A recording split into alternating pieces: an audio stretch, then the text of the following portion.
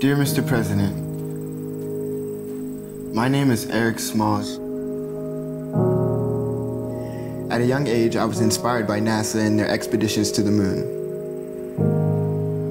As a career, I would love to build robots to explore the first Earth-like planets and beyond.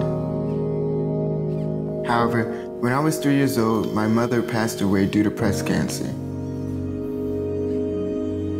For several months, my family and I were homeless and forced to live out of a car. With my dad doing his best to take care of my sister and I, those years were very difficult. And college was just a pipe dream. As we lived paycheck to paycheck, the three of us shared $2 a day for food. Some days, my sister and I were faced with choosing between attending school or eating that day. For a while, I feared I might never be able to achieve my dreams. But I was motivated to change my circumstance. I got back on my feet and went to live in Philadelphia with my grandmother. I started attending an engineering and science academy in North Philly. I was determined to achieve my dreams.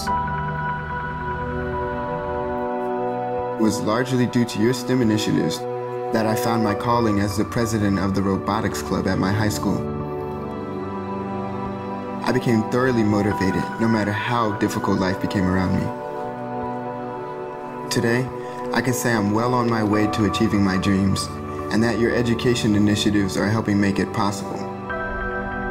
Your doubling of Pell Grants have made college more affordable for students like me. And this year, I'll begin my first year of college. Dear, congratulations. You are part of something larger than yourself. I am proud to say that I am the first in my family to be attending college. Welcome to the Stanford family. Currently, I'm pursuing an engineering degree in computer science and artificial intelligence at Stanford University.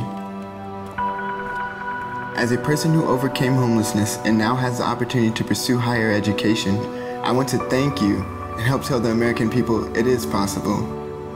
Perhaps I could not see my dreams from the backseat of a car window, but today, my dream has been made possible thanks to you.